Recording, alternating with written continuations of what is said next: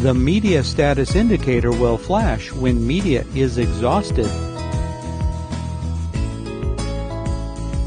Remove the outside wrap from the media roll to prevent contamination.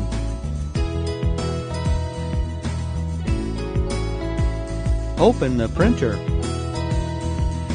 Verify the media sensor is in the correct location for label media.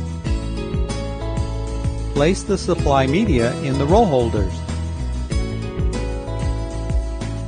Remove the first 3 inches or 80 millimeters of media from the liner. Place the leading edge of the first label under the media guides. Close the printer.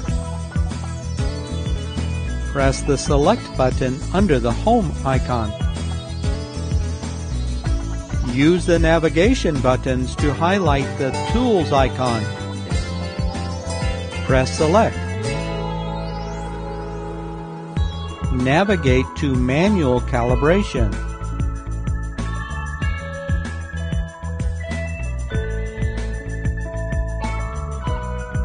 Press the Select button under Start. The printer reports Load Backing. Printer paused. Press the Pause button to continue. The printer will calibrate the media sensor. When the printer reports Reload All, Continue, press the Pause button to continue. The printer will feed and measure several labels.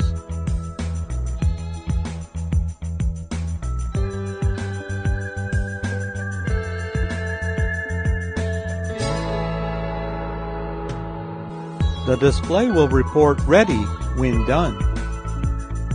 Remove the excess media. Return to the Home menu. Next, set the media type. Highlight Settings and press Select. Navigate to Media Type.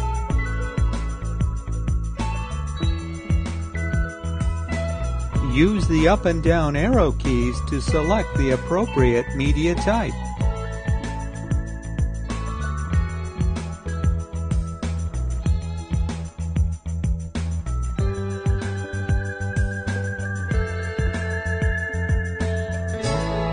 Next, navigate to Print Method. Use the up and down arrow keys to match the media type. Next, set the media sensing method.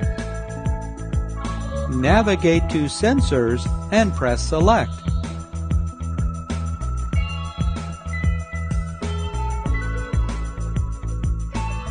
Use the up and down arrow keys to select the sensing method.